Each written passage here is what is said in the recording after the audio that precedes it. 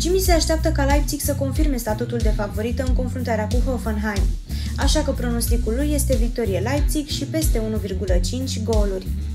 Cota pariului propus de tipsterul echipei biletuminuzilei.com este de 1,55.